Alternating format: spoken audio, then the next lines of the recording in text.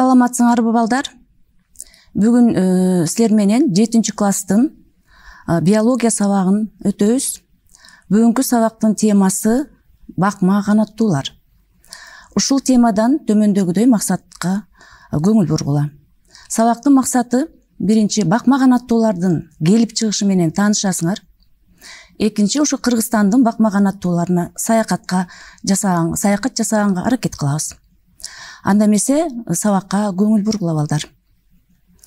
Үй канаттууларына баардыгыңар э, билесиңер. Э, алар үй канаттуулар менен биз э, көп жолугуп жүрөбүз. Ошондой болсо дагы үй канаттуулар менен алардын түрлөрү менен таанышып алалы. Экранда көрүп тургандай үй канаттууларынын түрлөрү силерге көрүнүп турат. Индуктар кыргоолдор тооктор өрдөктөр э, төө жана башкалар. Булардын арасынан кайсы бир э, канаттууларды адам баласы кийинки учурларда колго үйрөтүп э, үй канаттууларына айландырган. Ал эми дагы бир үй канаттууларынын дагы бир түрлөрүнө көңүл бурсак бул тооктор биздин жашообуздун көп бөлүгүн ушу тооктор ээлеп алар менен биз дайым байланышып келебиз. Себеп дегенде мындан кийин сабактын мындан кийинки бөлүгүнөн алар боюнча дагы кайсы бир маалыматты алабыз. Канаттуулардын э, келип чыгышына э, токтолуп кетсек балдар ар бир тоок э, джунглиядагы банкив тоогунун тукумдары болуп саналат. Алар ошо банкив тоокторунун тооктору же болбосо корооздору түштүк азияда пакистандан суматрага чейинки э, аралыктарда кездешкен. Ошондуктан э, бул э, азыркы кездеги биздин үй канаттууларыбыз ушул канаттуулардан келип чыккан деген далилдер тастыктамалар бар балдар андан тышкары бул бакма канаттуулардын келип чыгышы бул көбүнчө нил каздарынын мындан эки миң жыл мурда биздин заманга чейинки убактарда египетте кармап келе э, келгендери далил болгон. Ошол учурларда ошол египетте э, үй канаттууларын кармап келишкен деген далилдер бар. Э, мисалы үй өрдөктөрүн алып карасак булар түндүк жарым шарда тиричилик кылган жапайы өрдөктөрдөн таралып алардын алардан азыркы учурда пекин украина москва же ак өрдөктөр келип чыккан. Азыркы учурдагы биз э, көрүп байланышып алар менен э, тиричилик кылып жүргөн үй канаттуулары. Андан тышкары үй өрдөктөрү түштүк жарым шарларда тиричилик кылган жапайы өрдөктөрдөн келип чыккан деген тастыктамалар бар. Ошолордон дагы жогоруда айтып кеттим. Украина өрдөктөрү москва өрдөктөрү пекин өрдөктөрү биздин турмушубузда колдонулуп келет. Андан тышкары ушул үй канаттуулар боюнча балдар кызыктуу фактылар дагы бар. Ошол кызыктуу фактыларга кичине көңүл буруп алсак. Тооктордун моюн сөөктөрү биз билген жирафтыкына салыштырмалуу өтө көп болот экен. Жаңы чыккан жумуртканын температурасы кырк бүтүн ондон беш градус цельсий болот экен. Ошол эле учурда өрдөктөр көздөрүн ачып да уктай алышат экен.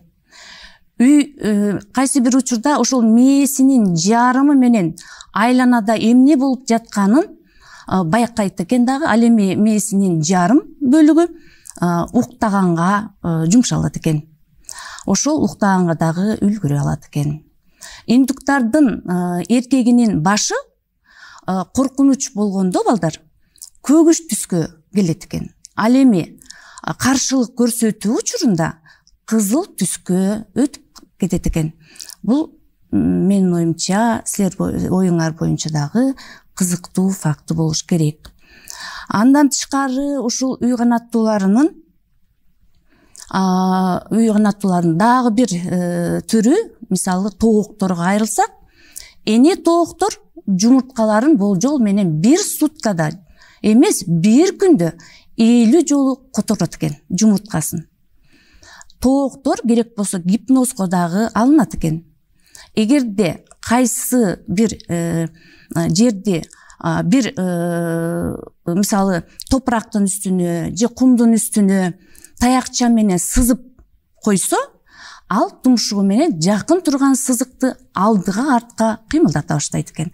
Башкача айтканда бул ошол тооктордун дагы биздин турмушубуздагы тооктордун дагы ушундай бир кызыктуу окуялары кубулуштары жүрүп турат экен андан тышкары ушул биздин кыргызстанда чүй областында байтик айылында жапайы ушул страустарды же болбосо төө куштарды багып ошолорду ошолордун негизинде зоопарк кичинекей зоопарк уюштурулган.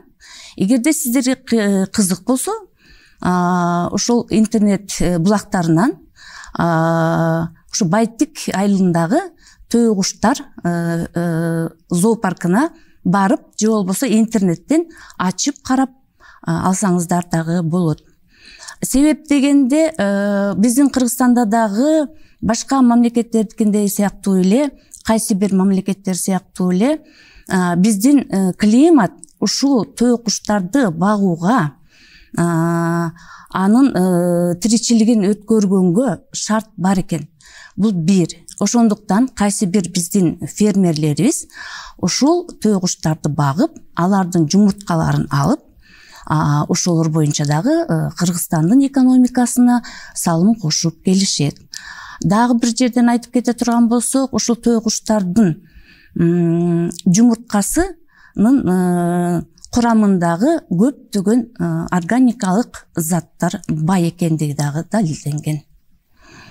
Андан кийин биз ушул айыл чарба канаттууларынын башкача айтканда биз э, ушул канаттуулардын ичинен тоокторду өрдөктөрдү Э, багабыз. Ошол багуунун негизинде булар айыл чарба канаттууларына айланган. Ошондуктан бул айыл чарба канаттууларынын жумурткасындагы баалуу заттарга көңүл буруп алгыла балдар азыр карап көрсөк канаттуулардын түрлөрү. Мисалы тооктордун э, жумурткасынын же болбосо этинин курамында суу жетимиш бүтүн ондон алты процент кездешет кургак заттар жыйырма алты бүтүн ондон төрт процент. Ал эми органикалык заттар проценттик катышта баардыгы биригип жыйырма беш бүтүн ондон алты протеин он эки бүтүн ондон сегиз май он бир бүтүн ондон сегиз углевод бир бүтүн ондон ноль ошентип ал эми органикалык эмес заттар ноль бүтүн ондон сегиз проценттик катышта органикалык заттар жана органикалык эмес заттар кездешет экен индуктарда суунун катышы жетимиш үч бүтүн ондон жети процент кургак заттар жыйырма алты бүтүн ондон үч процент органикалык заттардын ичинен протеин он үч бүтүн ондон бир май он бир бүтүн ондон жети углевод ноль бүтүн ондон жети ал эми органикалык эмес заттар ноль бүтүн ондон сегиз процент кездешет өрдөктөдү алып карасак балдар суунун курамы алтымыш тогуз бүтүн ондон жети процентин ээлейт кургак заттар отуз бүтүн ондон үч процентин ээлейт ал эми органикалык заттардын ичинен протеиндер он үч бүтүн ондон жети май он төрт бүтүн ондон төрт углевод бир бүтүн ондон эки ал эми органикалык эмес заттар бир бүтүн ондон ноль процент ээлейт бизге белгилүү каздарды алып карай турган болсок суунун проценттик катышы жетимиш бүтүн ондон алты кургак заттар жыйырма тогуз бүтүн ондон төрт органикалык заттар э, протеин он төрт бүтүн май он үч углевод бир бүтүн ондон эки ал эми органикалык эмес заттар бир бүтүн ондон эки проценттик катышта кездешет экен демек бул биз ушул таблицанын негизинде далилдеп алсак болот. Ушул биз баккан үй канаттуулары же болбосо айыл чарба канаттууларынын этинин курамында адамга керектүү өтө пайдалуу диетикалык органикалык жана органикалык эмес заттарга бай экени далилденет экен. Ал эми ушул тооктун жумурткасынын жана этинин химиялык курамына көңүл буруп карайлыкчы бул да өтө кызыктуу себеп дегенде химиялык курам биздин организмибизде жаныбарларда дагы андан тышкары э, жансыз жаратылышта дагы кездешет. Ал химиялык курам адамдын организминде эң чоң э, ролду ойноп келет. Ошонун арасынан азык заттарды алып карасак жумуртканын курамы.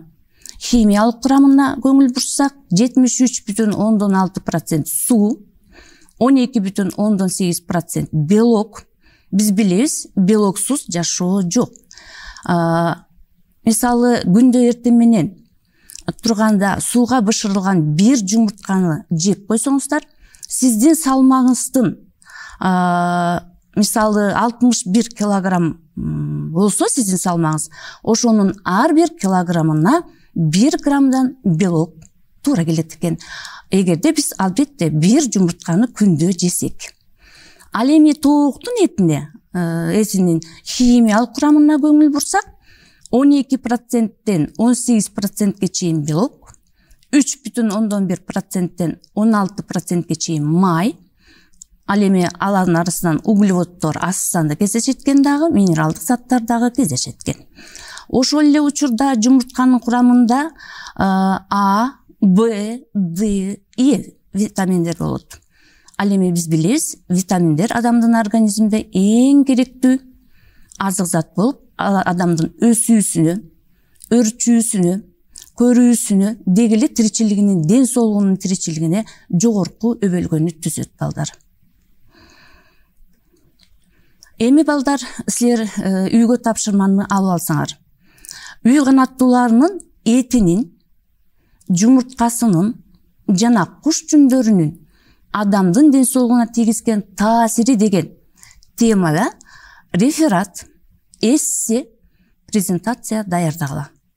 Ушул презентацияларды даярдоодо жогорудагы берилген маалыматтарды интернет булактарынан алып кооз кылып сүрөттүү кылып жазып үй бүлөңүздөргө көрсөтсөңөр болот. Себеп дегенде бул биздин жашообуз канаттуулар үй канаттуулары бул биздин жашообуз эми балдар биз кийинки сабактан жолукканга чейин сак саламатта болгула бүгүнкү сабагыбыз ушуну менен аягына чыкты